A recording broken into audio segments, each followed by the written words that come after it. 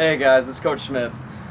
I just want to let you know that I really miss all you guys, and um, and I know everything's really crazy right now, but I want you to know that uh, we miss you, and everything's going to get better.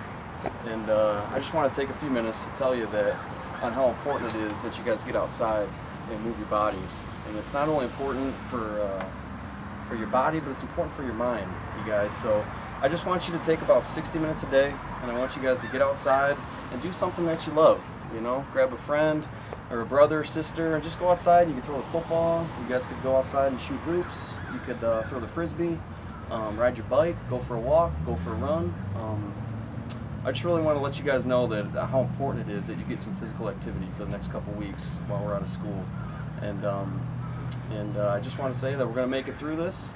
I love you guys, and, and I truly miss you, and uh, and I and I hope to see you guys in a couple weeks. So uh, stay strong. I want you to stay active, and uh, most importantly, I want you to, to have fun during this difficult time. Okay? Love you guys. Take care, and um, I'll see you soon.